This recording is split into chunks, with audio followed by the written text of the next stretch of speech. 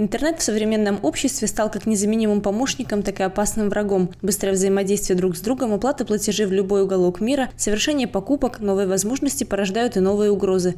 Ловкие мошенники быстро осваивают информационное пространство и, пользуясь доверчивостью, а где-то и неопытностью пользователей, хватают их на свой крючок. Поиск злоумышленников ведут правоохранительные органы. В Управлении Государственного комитета судебных экспертиз по Брестской области уже передаются изъятые улики для установления истины. Наша роль э, в этом процессе, э, я считаю, больше доказательная. То есть э, раскрывают данные преступления сотрудники органов внутренних дел, а мы выступаем как специалисты, как помощники в этом их нелегком деле с технической точки зрения, помогаем им вскрыть различные факты, собрать доказательственную базу, которая поможет впоследствии следственным органам э, предъявить обвинение, либо наоборот, оправдать человека. На самом деле поставить быстро точку в такого рода преступлениях не всегда получается оперативно. Опытные мошенники ловко шифруют имеющуюся на их носителях информацию. Нередко в работе используются специально вредоносные программы и другое оборудование. Но благодаря постоянному обучению и опыту работы судебные эксперты все же ставят точку в запутанных делах, помогая правоохранителям в объективном сборе доказательств. Киберпреступления в основном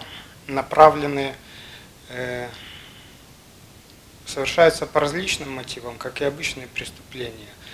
То есть э, с целью обогащения преступника, из хулиганских действий, э, по различным другим мотивам. И ну, в основном это, конечно, денежный мотив, то есть преступник хочет обогатиться. Мы исследуем предоставляемые нам объекты, э, восстанавливаем удаленную информацию на носителях информации данных объектов, ищем признаки, следы преступника, которые он мог оставить на техническом средстве. Бдительными и грамотными в своих действиях должны быть не только судебные эксперты, но и граждане, чтобы не стать жертвой очередного киберпреступления. Именно поэтому никогда не стоит отвечать в мессенджерах и социальных сетях на вопросы, пришедшие со сторонних или незнакомых электронных ящиков. Любые скачиваемые файлы должны предварительно проверяться антивирусом, а озвученная вами информация не стать угрозой для вас самих.